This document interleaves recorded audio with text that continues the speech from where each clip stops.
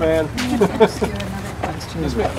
you Okay, my name is Oscar Yopis. I live in Palm City, Florida, and we're here trying to stop the All Aboard Florida train. It brings no benefits whatsoever to the Treasure Coast. We feel that the trains will impede the traffic through the Okeechobee waterway. comment period. Each speaker is going to be allowed two minutes. And uh, the only closing comment I have is that uh, with the uh, Railroad Administration determined to make the loan, the Coast Guard is our last hope to stop this whole project. will result in death.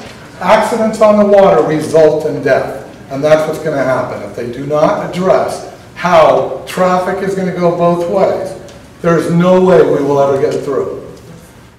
We do not want any entity to come here which might deter you from properly achieving your mission, and you shouldn't want it either. Yeah. So please join with us and prevent the all aboard travesty from happening.